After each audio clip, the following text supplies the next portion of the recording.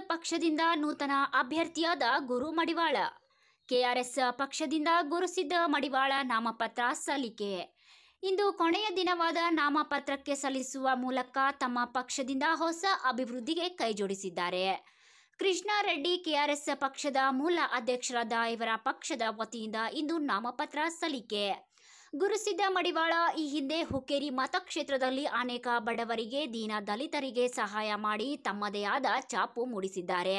ಇನ್ನು ಅನೇಕ ಬಾರಿ ಹೊರ ಗ್ರಾಮಗಳಲ್ಲಿ ಬಡವರ ಪಾಲಿಗೆ ಕಾನೂನುಗಳ ಬಗ್ಗೆ ಅರಿವು ಮೂಡಿಸಿ ನೊಂದವರನ್ನ ರಕ್ಷಣೆ ಮಾಡಿದ್ದಾರೆ.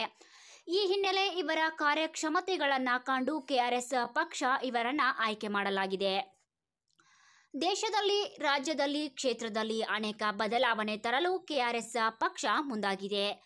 ನಾಮಪತ್ರ ಸಲ್ಲಿಸಿದ ಗುರುಸಿದ್ದ ಕಂಪಣ್ಣ ಮಡಿವಾಳ್ ಅವರು ನಾಮಪತ್ರ ಸಲ್ಲಿಸಿ ಕೆಆರ್ಎಸ್ ಪಕ್ಷದ ಬಗ್ಗೆ ಮಾಧ್ಯಮಗಳ ಮುಂದೆ ಮಾತನಾಡಿದರು. ಈ ಸಂದರ್ಭದಲ್ಲಿ ನಾಮಪತ್ರ ಸಲ್ಲಿಕೆ ಸಮಯದಲ್ಲಿ ಮಡಿವಾಳ ಸಮಾಜ, ಸಮಾಜದ ಬಂಧುಗಳ ಬೆಂಬಲ ನೀಡಿದರು. ಜೊತೆಗೆ ಅಭಿಮಾನಿ ಬಳಗದ ಜೊತೆಗೆ ಕುಮಾರ ಜೋಡಟ್ಟಿ, ಮಡಿವಾಳರ್, ಕೆಆರ್ಎಸ್ ಪಕ್ಷದ ಹಲವರು ಮುಖಂಡರು ಭಾಗವಹಿಸಿದ್ದರು. ಅತ್ಯುತ್ತಮ ಅಭಿವೃದ್ಧಿಗೆ ಕೈಜೋಡಿಸಿ ಸಮಸ್ತ ಬಂಧುಗಳು ಹಾಗೂ ಹುಕ್ಕೇರಿ ಮತಕ್ಷೇತ್ರದ ಮತದಾರರು ಮತ ನೀಡಿ, ಪ್ರಚಂಡ ಬಹುಮತದಿಂದ ಆರಿಸಿ ಆಯ್ಕೆ ಮಾಡಬೇಕೆಂದು ಕೆಆರ್ಎಸ್ ಪಕ್ಷದ ಅಭ್ಯರ್ಥಿಯಾದ ಗುರುಸಿದ್ದ ಮಡಿವಾಳರ್ ಮಾಧ್ಯಮದ ಮುಂದೆ ಮಾತನಾಡಿದ್ದಾರೆ.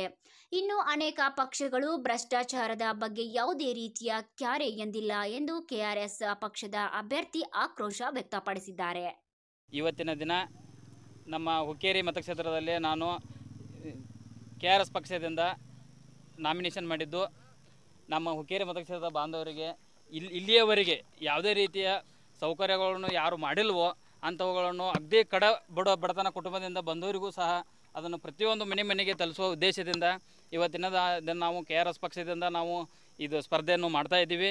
ಆಮೇಲೆ ನಮ್ಮ ಕೆ ಆರ್ ಎಸ್ ಪಕ್ಷ ಅಂದರೆ ಯಾವುದೇ ರೀತಿಯ ಭ್ರಷ್ಟಾಚಾರ ಎಲ್ಲಿ ನಡೀತಿದೆಯೋ ಅಲ್ಲಿ ನಿರ್ದಾಕ್ಷಿಣ್ಯವಾಗಿ ನಮ್ಮ ಸ ಪಕ್ಷದವರು ಹೋಗಿ ಅದನ್ನು ಖಂಡನೆ ಮಾಡಿ ಆ ಸಲ ನಮ್ಮನ್ನು ಅಭ್ಯರ್ಥಿಯನ್ನಾಗಿ ಜನ ಚುನಾಯಿಸಿದಲ್ಲಿ ವಿಜಯಶಾಲಿಗೊಳಿಸಿದರೆ ಯಾವುದೇ ರೀತಿಯ ತೊಂದರೆ ಆದಲ್ಲಿ, ಯಾವುದೇ ರೀತಿಯ ಭ್ರಷ್ಟಾಚಾರ ನಡೆದಲ್ಲಿ ನಮ್ಮ ಪಕ್ಷದ ಪರ ನಿಂತು ನಾನು ತಮಗೆ ಏನು ಅನ್ಯಾಯವಾಗ್ತಿದೆಯೋ ಅದನ್ನು ಸರಿಪಡಿಸುತ್ತೇನೆ ಎಂದು ಹೇಳಿ ನಮ್ಮ ಪಕ್ಷದವರು ಒಂದು, ನಮ್ಮ ಉದ್ದೇಶ ಒಂದೆರಡು ಮಾತುಗಳನ್ನು ಹೇಳ್ತಾರೆ.